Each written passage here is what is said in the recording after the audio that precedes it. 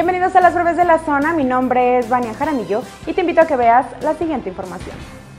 Cada año, de un promedio de 5 a 15 elementos de seguridad y policía vial reciben su aguinaldo y abandonan su trabajo en la corporación, buscan regresar meses después. Este dato fue revelado por Mario Bravo Arrona, secretario de Seguridad, Protección y Prevención Ciudadana, asegurando que se evalúa si pueden o no regresar. Durante la ceremonia de entrega de premios a 20 elementos a través de la Fundación León Agradecido, el secretario reconoció esta situación y pidió a los elementos evitarlo. Explicó que durante años, antes de que se cierre la liquidación por ley, los elementos piden ingresar y es el Consejo de Honor y Justicia quien define si puede o no volver de acuerdo con su expediente laboral y después de haberse retirado tras recibir el aguinaldo. Consolidamos la implementación del sistema de justicia laboral en la entidad. Actualmente, estos conflictos se resuelven en las cuatro sedes jurisdiccionales ubicadas en Guanajuato, Celaya, Irapuato y León. A través de procesos ágiles y predominantemente orales, este año hemos emitido más de 964 sentencias en un tiempo aproximado de 43 días hábiles para su resolución en beneficio de las relaciones obrero-patronales. Informe de actividades 2022 del Poder Judicial del Estado de Guanajuato. Justicia con excelencia e innovación.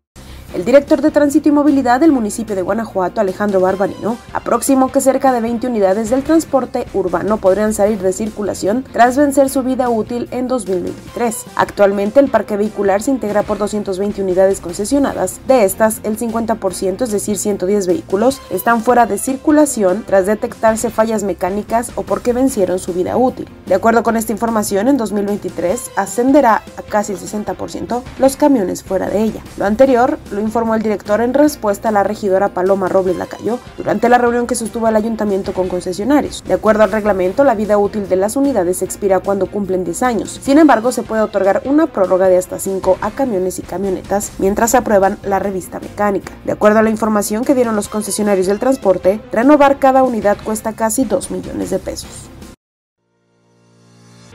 Somos la tercera entidad federativa con el mayor número de sentencias emitidas publicadas, de acuerdo al Censo Nacional de Impartición de Justicia Estatal 2022. Contamos con más de 83.125 versiones publicadas de las sentencias para su consulta, con la finalidad de dar a conocer el quehacer jurisdiccional y administrativo. Esto confirma nuestro compromiso constante con la transparencia, la rendición de cuentas y el acceso a la información. Informe de actividades 2022 del Poder Judicial del Estado de Guanajuato. Justicia con excelencia e innovación. Por si te lo perdiste, Donovan Carrillo Suazo, patinador de los Juegos Olímpicos de Beijing 2022, demostró su talento e hizo brillar la pista de hielo en las fiestas de diciembre de Celaya. Acompañado por la música de Noche de Paz, Donovan se proyectó en la pista y cada uno de sus movimientos fueron ovacionados por los cientos de celayenses que acudieron al Parque Morelos. Donovan cortó el listón rojo para inaugurar la pista de hielo, la cual estará en funciones hasta el 15 de enero acompañado por autoridades municipales y del estado. Al terminar su rutina recorrió la valla de la pista para saludar al público y despedirse de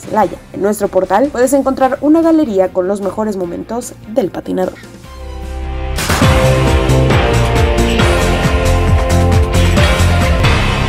Revisa la información completa en nuestro portal. Recuerda que lo puedes hacer también a través de todas nuestras redes sociales.